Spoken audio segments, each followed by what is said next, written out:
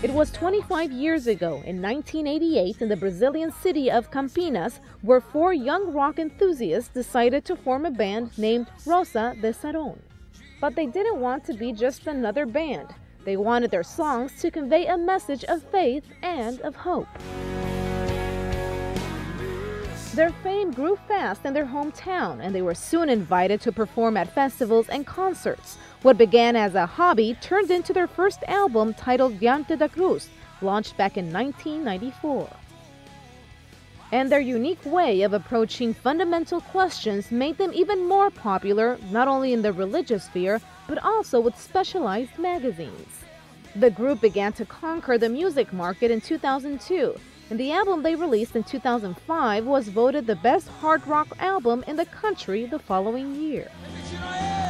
For two consecutive years, in 2010 and 2011, they were honored at the Latin Grammys. In August 2011, they also traveled to Spain to be Brazil's official band during World Youth Day in Madrid.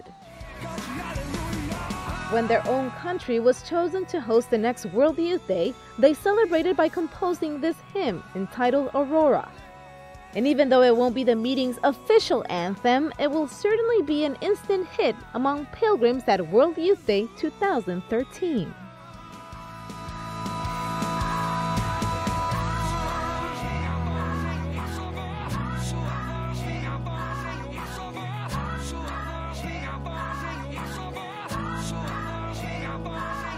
Mais uma vez, mais uma chance mais uma vez, mais uma chance para